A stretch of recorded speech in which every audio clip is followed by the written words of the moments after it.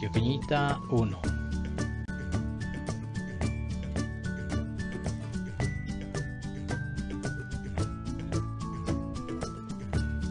Bienvenidos, no olviden suscribirse y activar la campanita para conocer las recomendaciones diarias y ver los resultados en tiempo real.